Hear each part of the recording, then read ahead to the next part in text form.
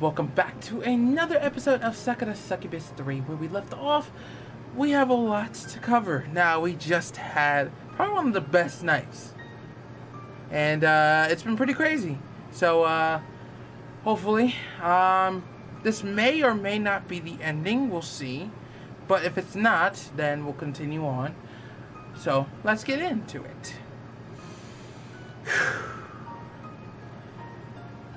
I don't know yet what my future holds, but one thing is for certain.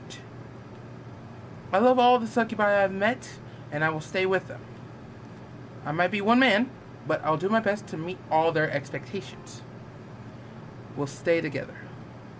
And I hope, in time, we'll be able to make each other happy. There's nothing I want more.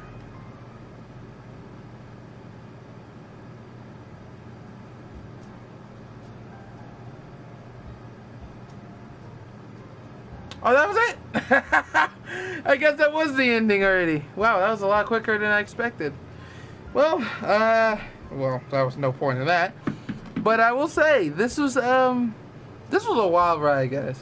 This particular part was a, this was a crazy ride, guys. This was a crazy ride. I will say that, man. This was a crazy ride. And it doesn't even end there. That's the crazy part. It doesn't even end there, man. Well, hope you guys enjoyed. Um, man. please, please, feel free to leave a like.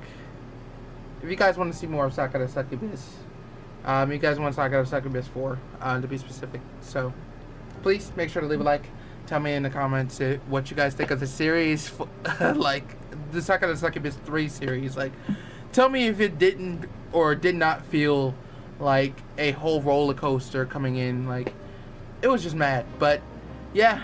it's been Zedd, guys. Later.